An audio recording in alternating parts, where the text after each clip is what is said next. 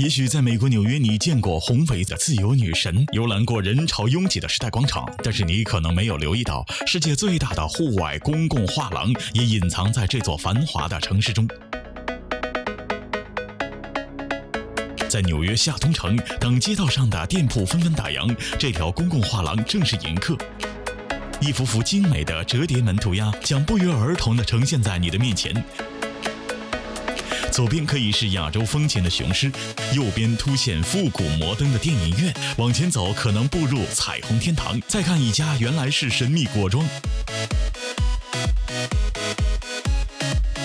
二零一四年夏天，街头艺术家 Billy Lohan 开展起一个很有意义的社区美化项目——百门计划，把一批有想法的艺术家和当地商家联系起来，在商铺的金属折叠门上进行涂鸦创作。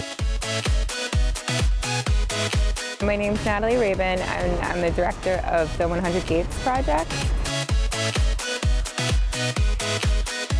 The 100 Gates Project is a public art project located in New York's Lower East Side that works by connecting artists with businesses to install original murals on the roll down security gates located outside of the businesses. 纽约下东城聚集着许多移民和工人阶级，青年文化在这里独具生命力。 丰富多元、有张力的文化底蕴，让这里出现不少个性商店和艺术空间。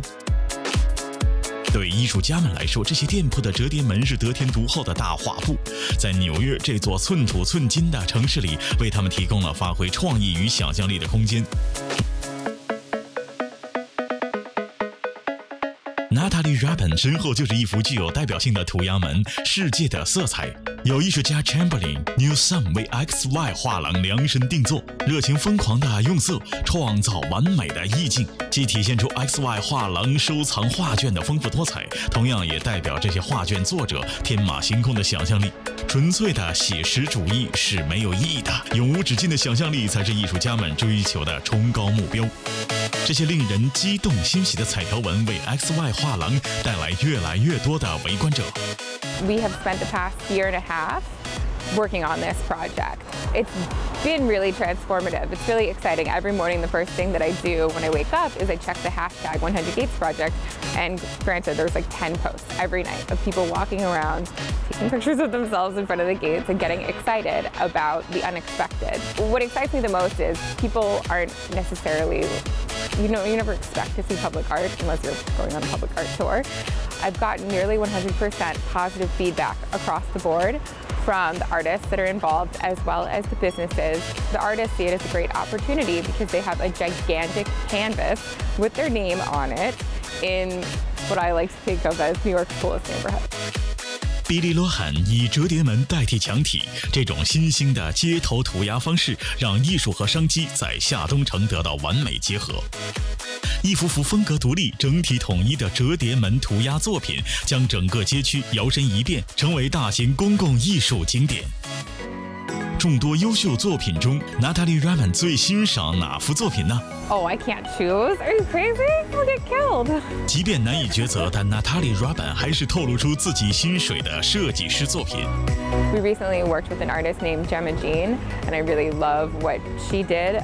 She did a beautiful woman's face at um, what is called Mendel Goldberg Fabrics, which has been in the Lower East Side. So it's one of our legacy businesses, which was amazing. That was another exciting, fun part about this project, being to combine legacy businesses with new contemporary artists and seeing the collaborations that ensued. So the owner of Mendel Goldberg Fabrics wrote me an email the next day and said, my gate is the greatest thing in the entire world. So she was happy. 从二零一四年开工到二零一六年百门呈现，涂鸦艺术提升了街区的整体外貌，为下东城带来了更多的消费者。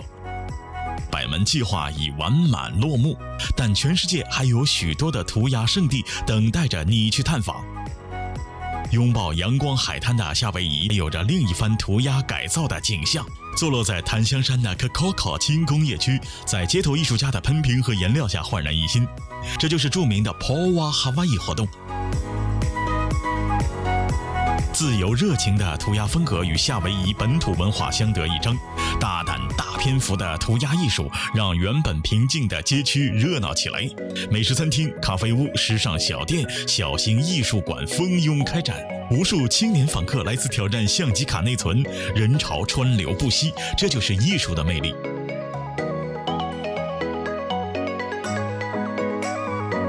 艺术家们的涂鸦舞台可不止墙体和折叠门。二零一五年在挪威地区举办的街头艺术节中，有一幅壁画吸引着人们的眼球，由法国艺术家艾拉和 Pietro 画制完成，坐落于工厂顶楼，涂鸦面积二点一公顷，相当于十七栋楼密集排列的体积。即使乘坐飞机从天上经过，游客们也能很清晰地看到这个作品。这样的设计具有里程碑的意义。